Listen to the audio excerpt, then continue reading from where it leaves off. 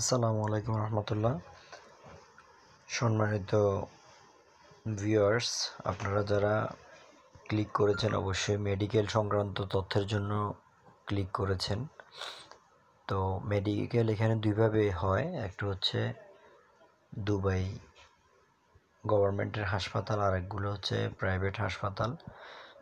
তো সব কিছুই প্রাইভেট হাসপাতাল এবং গভর্নমেন্টের হাসপাতাল যেখানে হোক আপনি যে স্লিপটা মানে আপনার টাইপিংটা যেখানে করিয়েছেন মেডিকেল টাইপিং মেডিকেল টাইপিংয়ের ভিতরে আপনার লোকেশান দেওয়া আছে এবং টাইমিং দেওয়া আছে, ওই টাইমের ভিতরে আপনি যে ম্যাম মানি রিসিপ্টটা নিয়ে যাবেন অ্যাপ্লিকেশনটা করেছেন, ওই অ্যাপ্লিকেশনের উপর আপনার পাসপোর্ট নাম্বার এবং অ্যাপ্লিকেশন নাম্বারটা আছে।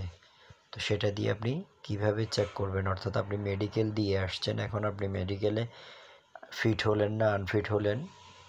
আপনি মেডিকেলে উইন করলেন কি না না করলেন, সেই জিনিসটা আপনি চেক করবেন কীভাবে মেডিকেল দেওয়ার পরে। আপনি এই ওয়েবসাইটটা কোথায় পাবেন? এই ওয়েবসাইটটা পাবেন আপনার যে অ্যাপ্লিকেশন পেপার আছে, সেখানে কিন্তু একটা নিচে দিয়ে W W dot Dubai health website এরকমভাবে লেখা আছে। আপনি সেটার মধ্যে ক্লিক করলে এই ফেজটা আসবে এবং আমি আপনাকে এই ফেজটা আমার ডেসক্রিপশনে দিয়ে দিব, আপনি এখানে চেক করতে পারবেন। তো এখানে এই যে দেখতে পাচ্ছেন check your F M application and application status আপনি এখানে ক্লিক করবেন। এখানে ক্লিক করার পরে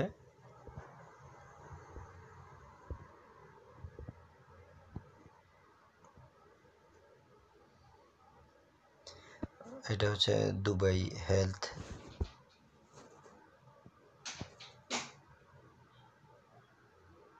About Dubai health, এই যে দেখেন অ্যাপ্লিকেশন নাম্বারটা এখানে দিবেন।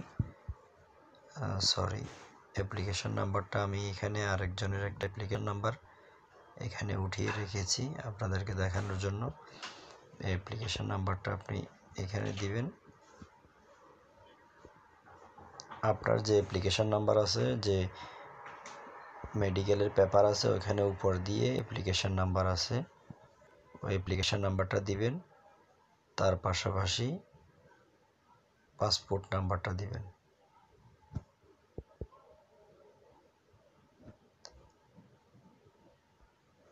পাসপোর্ট নাম্বারটা দিবেন।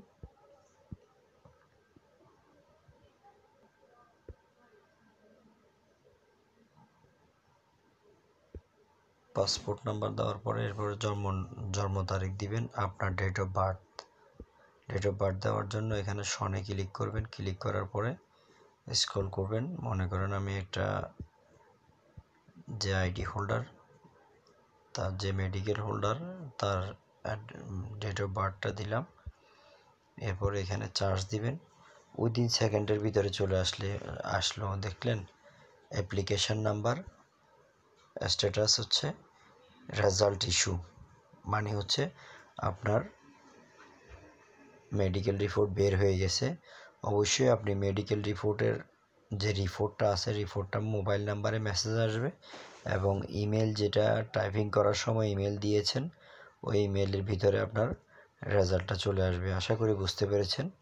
এভাবে দেখাবে। আবার অনেক সময় এই রেজাল্টের নিচে দিয়ে ডাউনলোড অপশন আসে। আপনি চাইলে ডাউনলোডও করতে পারবেন। ধন্যবাদ আশা করি বুঝতে পেরেছেন।